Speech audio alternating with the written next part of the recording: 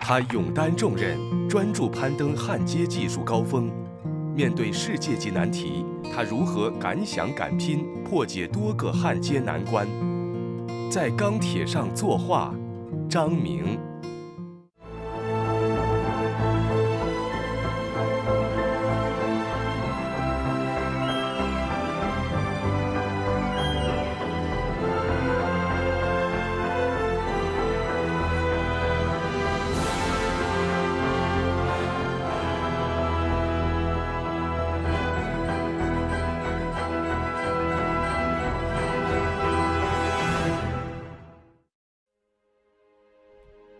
这里是孟加拉国的帕德玛河。二零二零年十二月十日，随着最后一块钢梁架设完成，标志着帕德玛大桥成功合龙。之后又经过一年多的道路铺设，最终于二零二二年六月二十五日正式通车。孟加拉国帕德玛大桥为公铁两用大桥，主桥全长六点一五公里。这座大桥是中孟两国共建“一带一路”重要项目，是加强基础设施合作的重要标志之一。帕德玛大桥的建成，结束了孟加拉国南部二十一个区与首都达卡之间居民往来需要摆渡的历史，方便当地居民通行的同时，也将直接拉动孟加拉国的经济增长。这座大桥由中铁大桥局承建，多家国内企业参建。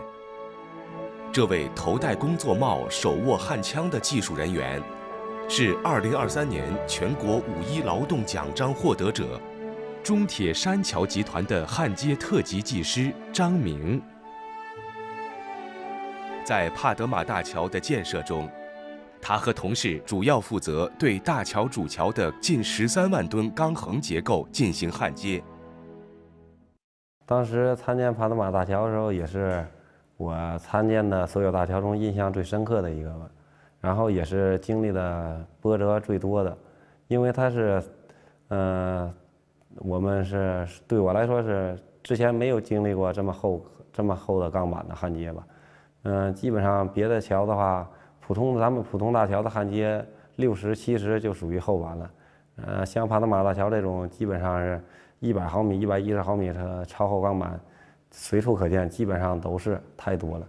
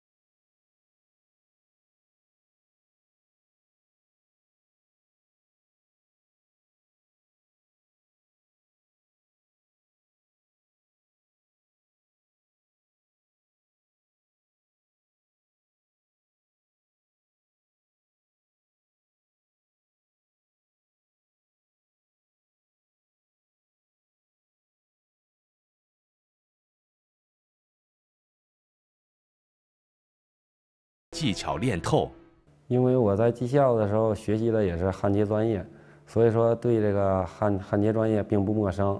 然后就是刚进厂的时候，对一些基本的焊接操作还是可以很快的掌握吧。然后就是对一些比较复杂的、难一点的、难一点的焊接来说，还是有很大的问题。然后也是通常向一些老师傅请教，就是自己也也偷师吧。模拟看老师傅怎么焊，然后通过业余的时间下班之后找一些废料了，然后就是照看按照老师傅的方法自己再进行反复的练习。刚在技校毕业嘛，接触的也少，包括技能，还有就是姿势，还有一些电流的配比参数掌握的不是很好，胳膊上、腿上，像胳膊上和腿上一些烫伤很多很多。但是，嗯，我感觉既然选择了这一行嘛，也也得坚持下来。焊花是美丽的，也是灼烫的。每当张明进行焊接的时候，也意味着他要在作业中承受六十摄氏度左右的体感温度。由于眼睛长时间被弧光刺激，有时他会难受到整晚睡不着觉。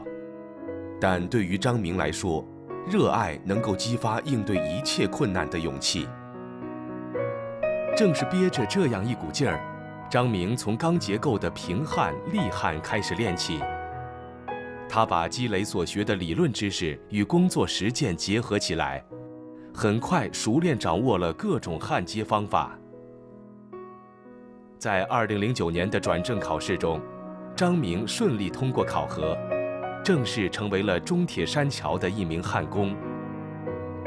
然而，事业怎么可能始终一帆风顺？几年之后，张明就迎来了一次巨大的挑战。二零一二年，参加工作五年的张明迎来了工作生涯中的第一个重大挑战。中铁山桥集团承接了一座大桥钢结构制造项目，该项目制造标准极高，要求桥面全部钢板焊缝的单道焊接全部熔深达到百分之八十以上。除此之外，还不能焊漏焊穿。当时国内外几乎没有这样的先例。中铁山桥集团开展了九个月的焊接工艺试验，用掉了八十多吨试验钢材，仍没有成功。紧急时刻，年纪不大却经验丰富的张明主动请缨，决心把挑战和困难扛在肩上。我当时参与这个项目的时候，也是二十多岁，不到三十岁，然后有着也是有着一股初生牛犊不怕虎的劲儿吧。就是很多人说这个项目几乎是不可能完成，我就是想把它做好，尽可量的把达到业主的要求，让世界看到中国的制造技术吧。让世界看到中国焊工的技术。接下任务后的张明，第一时间便开始和同事研究、讨论、试验。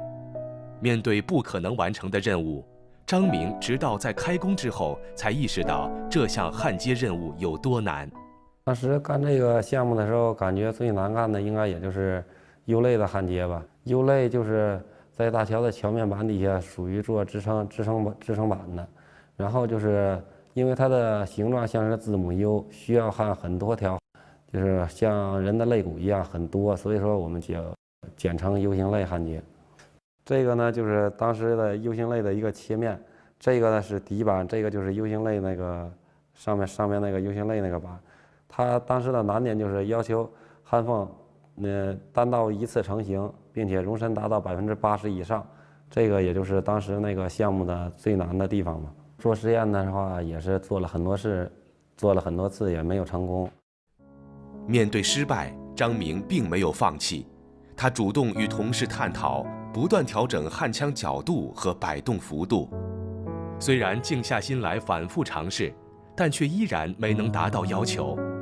张明和同事们一时间陷入困境，工作也不得不停滞下来。当时。基本上也记不太记不清试了多少次了，也有想过要放弃，但是相当的不甘心。然后就是也是大胆的尝试，和工友们商量嘛，试着就是稍微的改变一下焊接电流和焊接速度，然后多次尝试嘛，用不同的焊接电流和焊接速度做对比，看哪看哪哪个试件做得好嘛。张明和同事们互相鼓劲儿，大胆调试电流的强度。优化焊料参数和焊接工艺，经过反复研究实践，最终找到了焊接效果最好的参数。然而，当张明将一条焊好的 U 型肋进行检测后，发现焊接质量虽有明显提升，但是仍然没有达到要求。此时的张明又该如何面对这一焊接难题呢？嗯，在改变了焊接电流和焊接速度之后。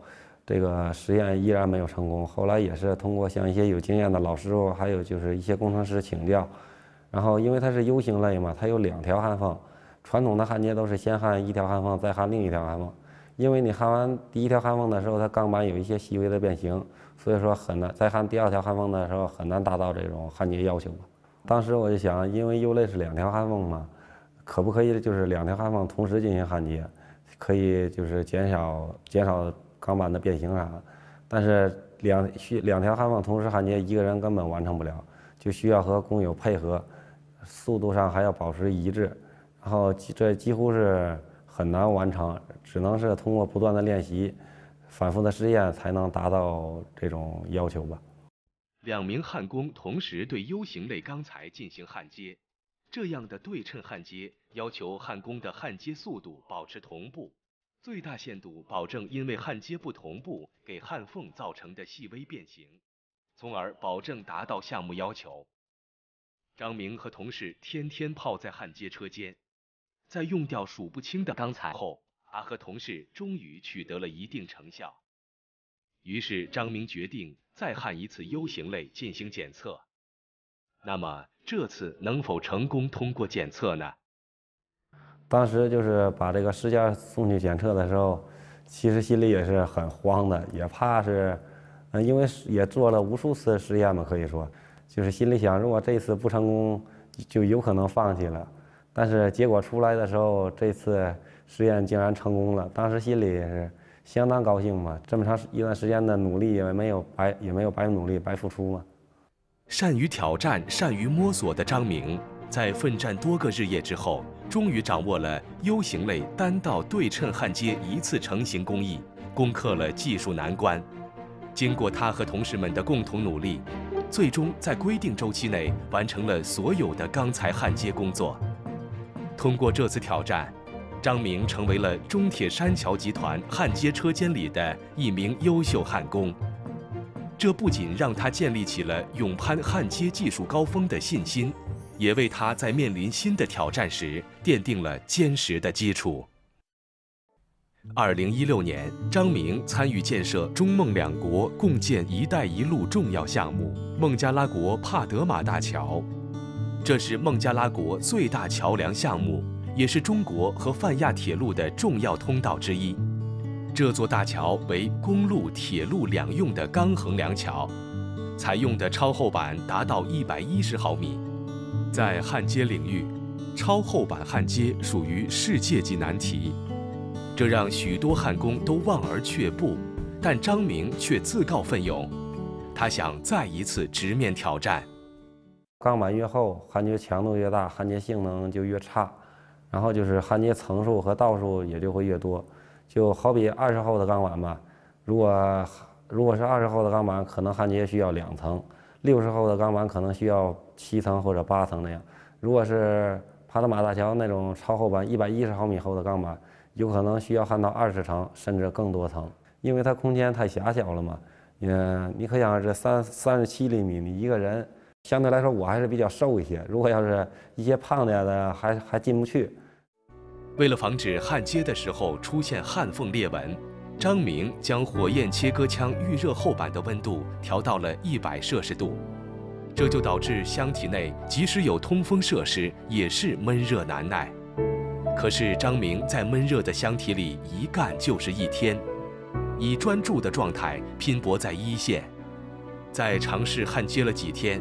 到了焊缝检测的时候，张明却发现合格率竟然不到百分之五十，这对于他来说无异于当头一棒。当时第一次检测的时候，确实成那个结果不是很理想，当时也是也想过放弃嘛，然后就是想着这个也是工友们都看着我主动请缨吧，想解决这个难题，也是不想让工友们失望吧，也是通过。就是呃和工友们商量，再向一些工程师请教，试着改改变一下焊接的焊接规范和焊接的速度啥的，还有焊料的配比啥的，改嗯就是试着一下能不能解决这些这个难题嘛。张明原本以为调整了焊料之后能够顺利解决难题，可当他将重新焊接好的钢板进行测试之后，发现问题并不是那么简单。再次测试后的合格率仍没有达到焊接要求，那么问题究竟出在哪里呢？当时也是一次一次的尝试嘛，就是感觉既然不是焊料配比的原因，是不是焊接方法的原因？就是当时我们采用的不是双破口的焊接嘛，需要先把里面的焊缝焊完，再到外面进行焊接嘛。就是我就感觉尝试一下，是不是这种焊接方法行不通？有没有新的焊接方法？在攻克超厚板焊接难题的日子里，张明始终泡在焊接车间。经过反复的试验，无数次的失败。他偶然想起来，还有一种单坡口背面加钢衬垫熔透焊接方法。虽然用这种方法会大幅度增加工作量，但或许能够解决难题。此时，张明已顾不了太多，只要有可能攻破难关，就必须要尝试一下。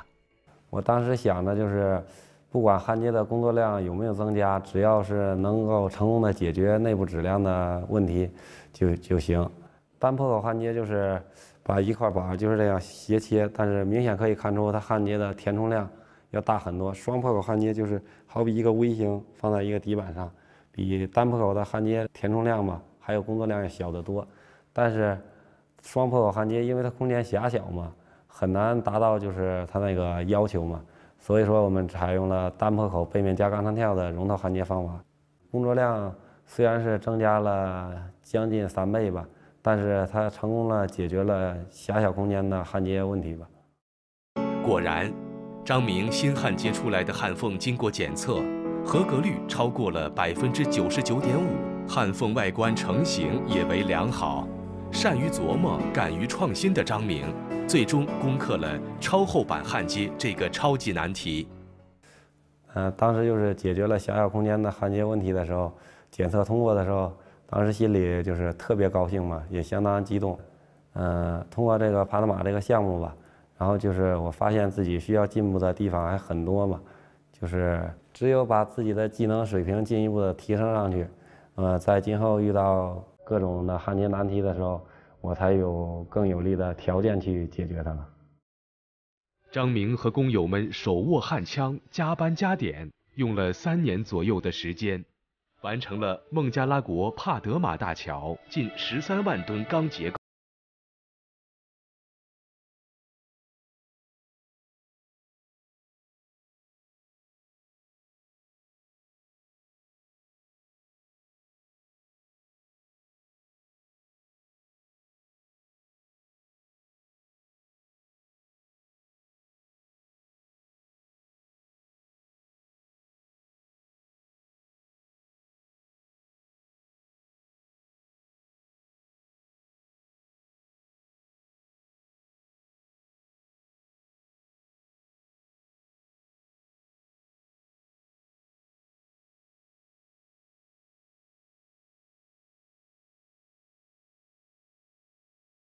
先锋，希望能够不断攻坚克难，在焊接领域勇攀技术高峰。当初因为热爱选择了焊工这一行，也是因为热爱，就是想着把自己的技术练熟练精。就是没有人能够可以简简单单的成功嘛。既然热爱，就得肯下苦功夫。我喜欢手握焊枪，用焊枪在钢铁上作画，绚丽飞舞的焊花就好比是为我喝彩的烟花一样。虽然我的手臂上吧，就是很多位置留下了许多汗花烫伤的伤疤吧，但是这也是我成长的见证吧。我为我能够用双手架起一座座桥梁感到骄傲，感到自豪。